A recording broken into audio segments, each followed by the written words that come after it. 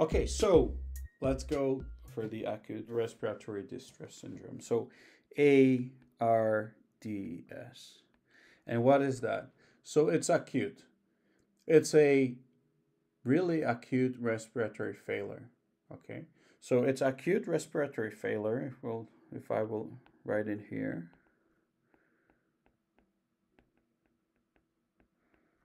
Failure, which is, and this is crucial, it's refractory to oxygenation. Okay, so it's really hard to to normalize the levels of oxygen in the blood. So it's a refractory hypoxemia. Okay, that's crucial.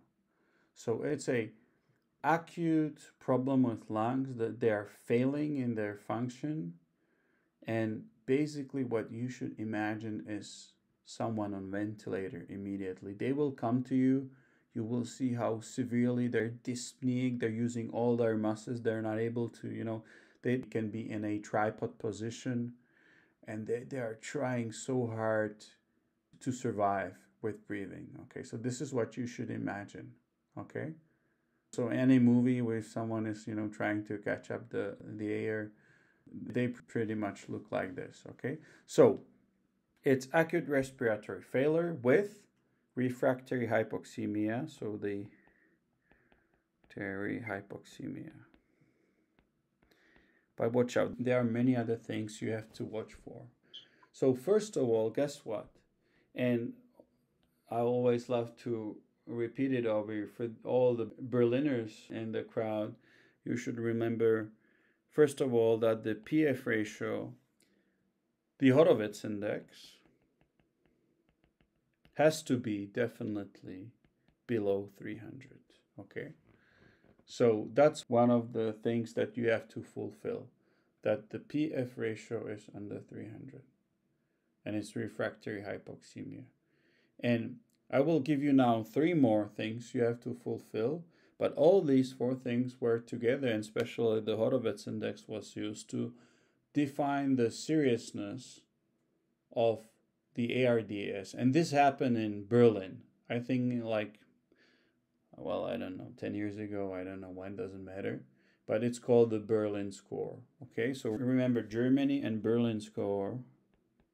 It's a clinical scoring. Okay, and as I told you, ARDS is very lethal.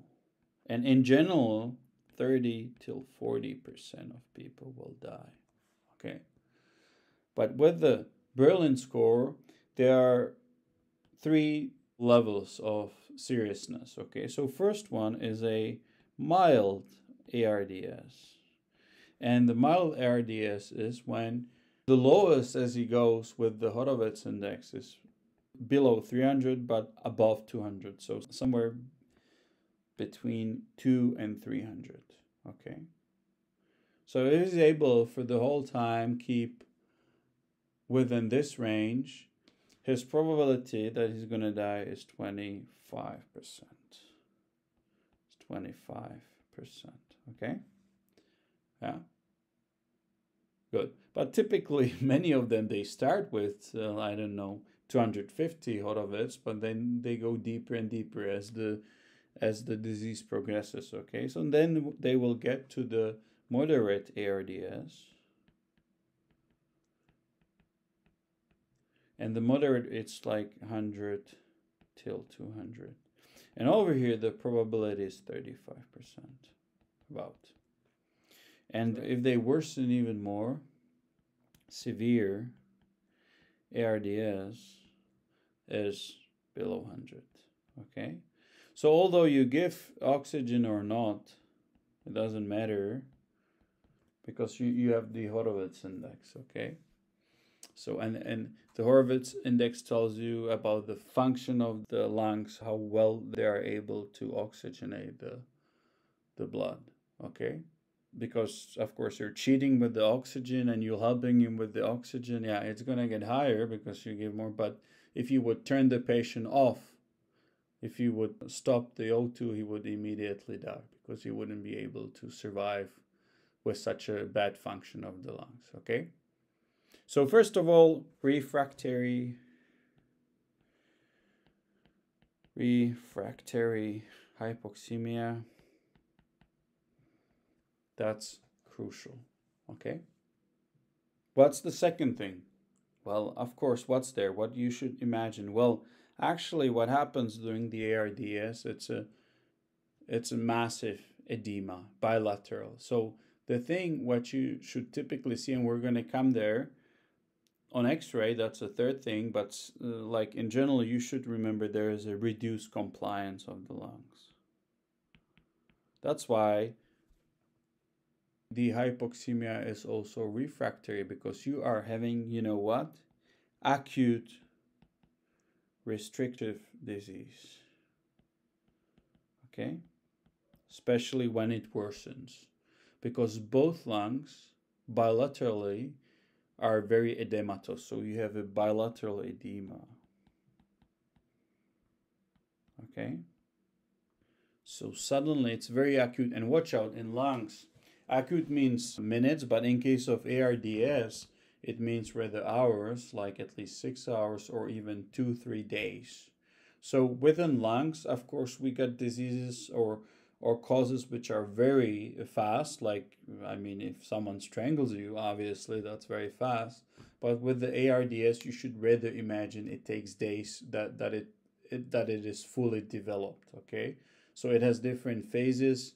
And at the beginning for example the patient is rather he can hyperventilate whatever and as it gets worse he's getting into a global respiratory failure okay? That means like on a second or third day and then then it's become very very serious okay? But you should now imagine that the lungs are full of water the interstitium is full of water. At the beginning later alveoli of course are full of water and not only water but many other stuff from the blood the compliance is really reduced that they're very stiff okay and what correlates with this well of course the x-ray so the thing you see on x-ray is a diffuse ground glass appearance. Remember that. It's like a milky glass, what you see. Okay, so if you do an x-ray, normally the lungs look black on x-ray. But over here, because they are so edematous, they're like milky. And the crucial thing is it's diffuse. It's like really, it, I mean, both lungs diffusely are have this ground glass appearance. Okay, so I'll uh, write it down. So X-ray, what you see is a diffuse ground glass appearance. And that's a term you use in of the lungs of the lungs. Normally you use it in the so the opacity really is seen and crucial thing is typically both lungs. Okay? So this should be white. This is a negative, okay? So it's black, but both lungs are like whitish, milky. In contrast to this, for example, if you have pneumonia, you would see that like lobar, whatever, there's one just one part that's pneumonia, okay? But this is typically ARDS. But watch out also pneumonia later can turn into ARDS, okay? But rather ARDS, imagine both lungs are severely impacted. It doesn't have to be 100% of the space, but very near like full impact. So one, two, three. Horovitz, of course, you should imagine decreased compliance. And then if you do the x-ray, which you do always, you know, x-ray for lungs is a ECG for heart. That's just the same. But fourth thing, and that this is crucial, please, all of you. The edema you see over there is non-cardiogenic, okay? It's non-cardiogenic. That's so important. So basically, you have to rule out that the edema would be due to failing left heart. Okay? So crucial thing, non cardiogenic edema. So that the cause is within the lungs, not after the lungs, but within the lungs. Okay. And of course, that's what you're going to rule out because the if you have edema due to left heart failure, it looks very similar, or yeah, it looks very similar to to the ARDS on X-ray. Okay, because again, there is a diffuse edema of both lungs.